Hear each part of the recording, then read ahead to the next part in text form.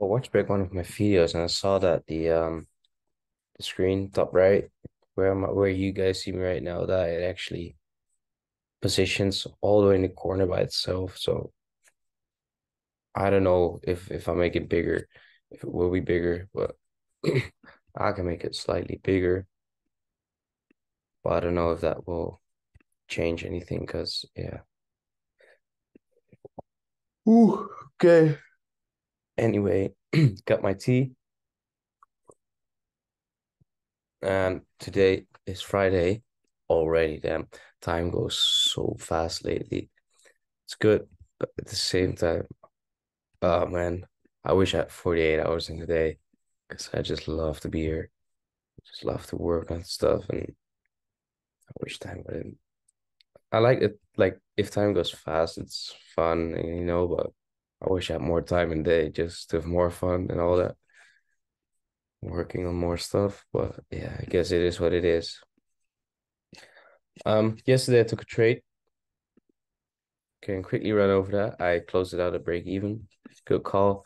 I saw this as early buyers, and it just wasn't because we were on the way down. We had that push, but this was slag with a high, a low, a lower high, and then a lower low. So this is no early early buyers. Was just a mistake.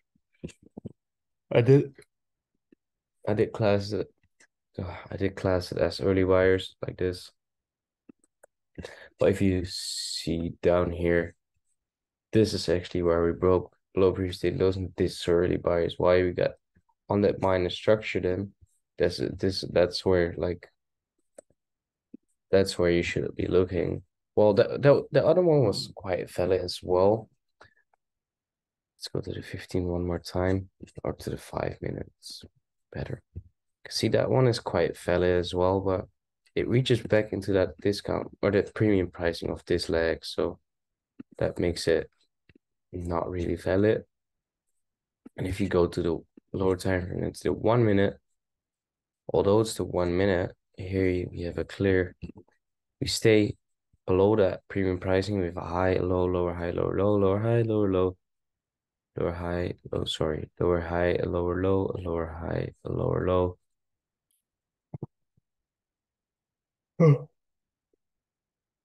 And we got a lower, high, lower, low, bullish break, and then bullish break. So that's our first early buyers actually.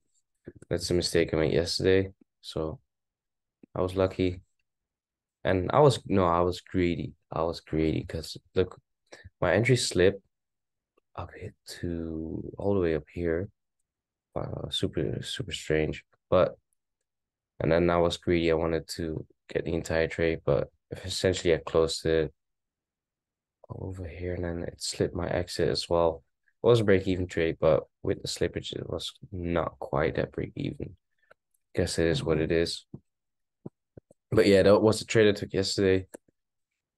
Chick, not not chicken out. It was a well informed decision,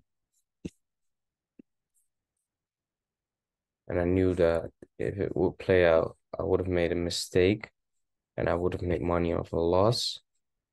If it wouldn't play out, I would have hit myself, or if I stayed in trade, I would have um yeah, punish myself for that as well. So glad I just went out. All right, there. Oh man, the TT needs some more power to it.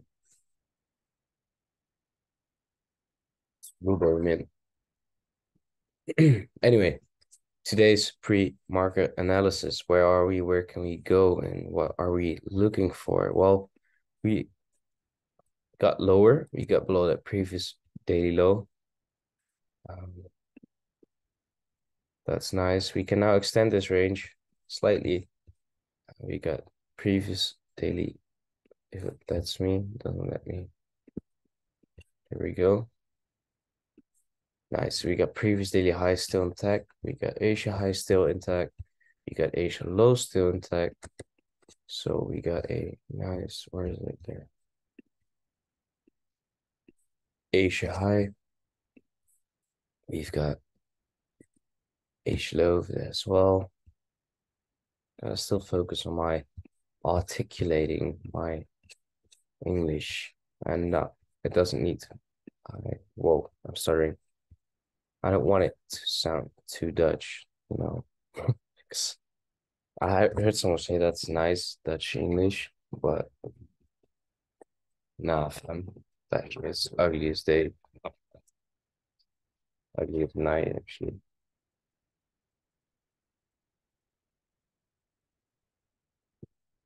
Make the up a little bit. So I can focus. I don't grab around myself.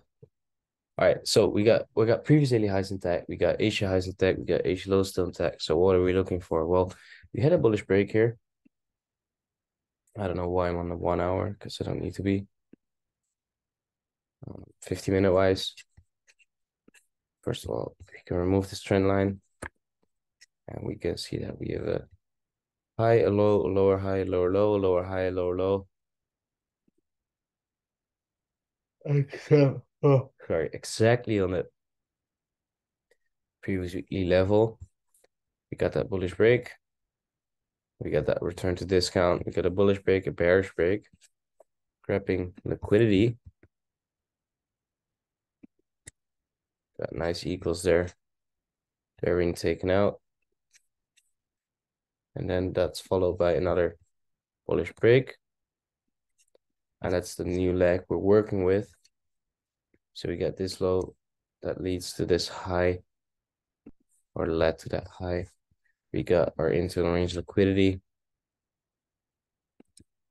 We got a 50 minute PY that's already mitigated. What we got also got this one here. That's our 50 minute demand zone that took this liquidity.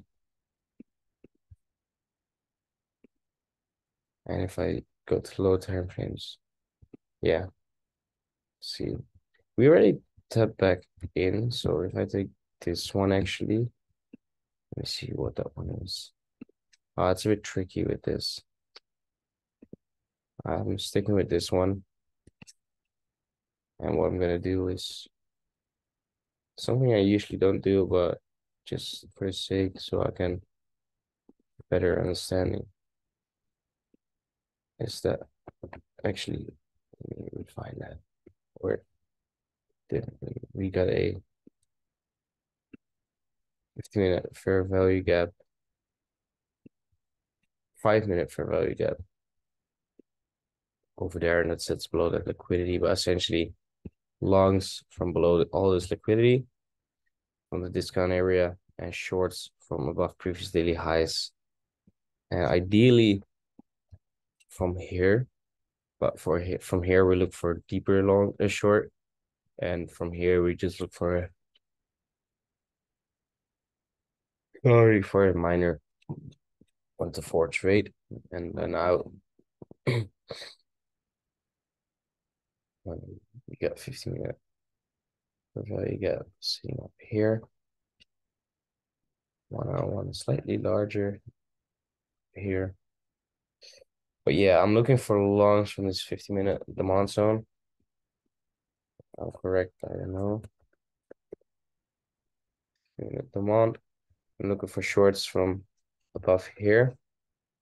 Ideally from here. So actually, I'm saying shorts from above here. It might be possible, but highest probability then would be to take it from the premium. So yeah, I would say hmm, let's see, let's see. Let's just wait. Let's see how price forms. Okay, do we have ready early sellers? No. We don't have even early sellers yet, so we gotta wait for that as well. Plus, this is your early sellers, but it's too early for me, so wait for you get a break here though. But then you have that continuation and you have high, a low, a high, a high, low, a high, high, a high, low, a high, a high, low. Now I don't even know if this one is reaching back into discount pricing. Yeah, it does. So in order to be valid, valid resellers, we need this one to break. Um, yeah. Let's wait for price and audit it. If you don't get anything, there's not even a trade set up, and we can just wait for this high for the premium pricing anyway. Now lining that up with with DXY again. DXY is coming lower. Uh, shit. I have to get to bed earlier. It's not even going to bed early. We still got this range. Um,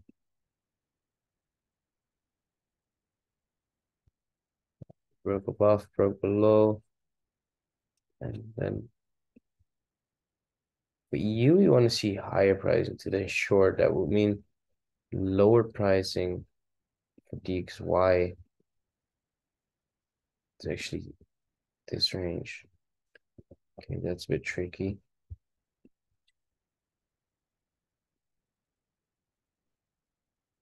Hmm. That already reached back into premium pricing.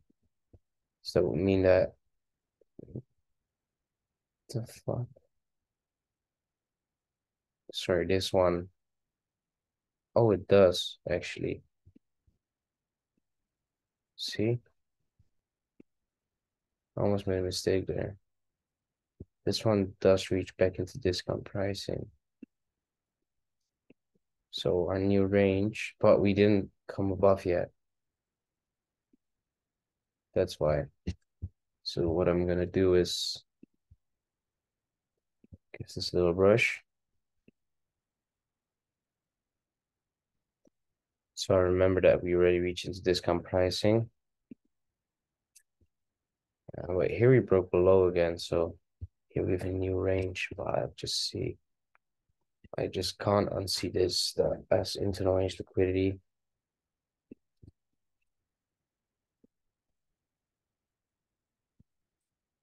And then that we get a move like this.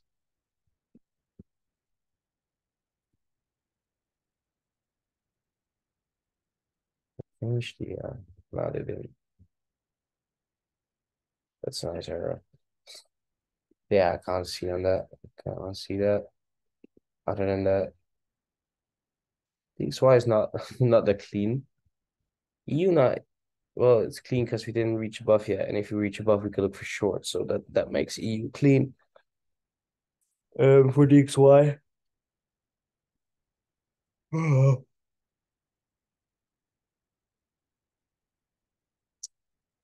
There's a um monsoon there.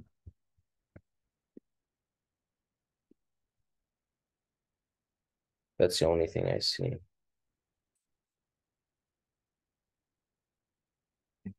You see how it swipe, swift, swoop, sweep, whatever. I took those lows and then gave him move. So that's the only thing I see now. Um, for EU, yeah, as long as we don't break above here, it's longs from here, shorts from here. Um, it seems like we're gonna take it out. then we have a new range to work with, and that's an ugly as range because well,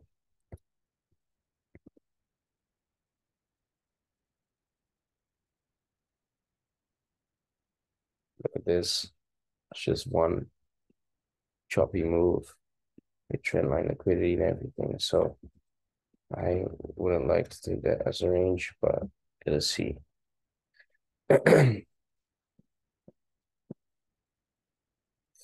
then GU. GU is looking nice. Nah, not. It's not.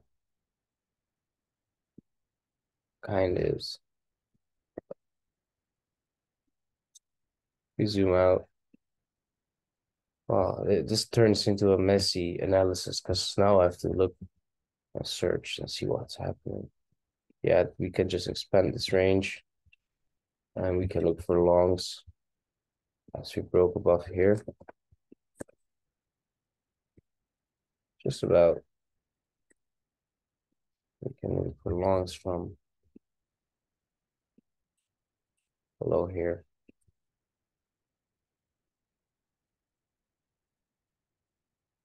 and um, what's it called? Order flow demand zone break. Next one, next.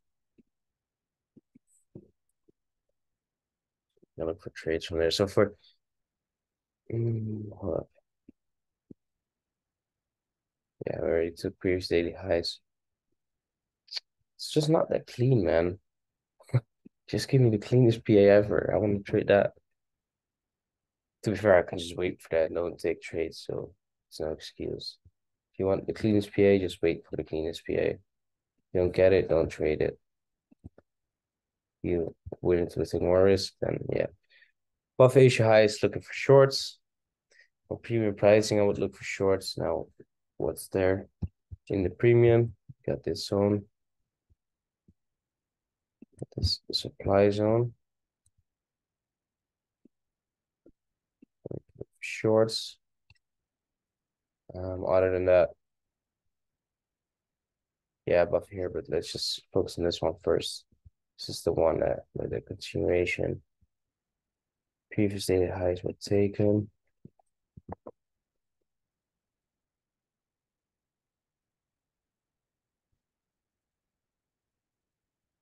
Usually the lows are still intact following the structure.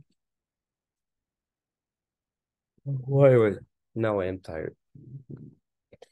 Um yeah, so shorts from here, longs from here, EU, shorts from here or here, and longs from here, and DXY, longs from here, shorts from above that as well. Just a little bit more tricky. Now high time for wise, let's just look so at the candles, what can we see? kind of turnaround candle came above that high, gave the bearish closure, not the strongest. EU pretty much same, took that low, gave the bullish closure, closure, but not the strongest either. And then GU is indicating longs. G is indicating longs with that doji's closure. And then it it did close bearish, but just about. So we get one, two potential three pin pattern over there. Ooh, that's been a while that I watched that. You could actually take shorts of that. Longs, one, two, and then bullish closure, three. Then you enter here, stops below here, long, one, two, three. Um, same for the bearish one, one, two, Bearish closure.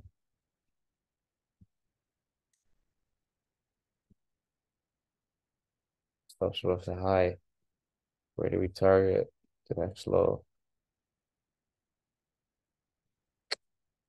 Interesting. But yeah, so I gave you the areas where what I'm looking at below this, above here, above here. If you break above here, I will I have to um draw a new range from this high from this low to this high, whether I like it or not, because that's the way the way I see the market. Although I think that might be a fake range. Still have to follow the structure. Um, doesn't mean that I need to trade it, because if I think the structure is unclear or misleading, I still follow it, but I don't need to trade. I just say, okay, I wait for a new leg. See, trading is so simple, man. That is so simple if you just do it like that only trade when you want to, only trade when it's super clear. If it's not clear, just don't trade. Not, say, not saying I'm making big money of trading, not saying I'm, I'm super profitable at the moment. I'm consistent. I'm really consistent. And that's the most important thing. Especially in my mindset, I'm really consistent right now. But yeah. Um yeah, we can see those equals here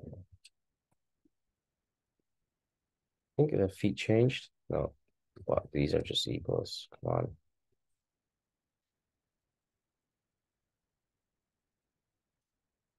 Then we take so so yeah, that's my pre-market analysis. Bit of a messy ending there, or the past 10 minutes, first 10 minutes were more clear.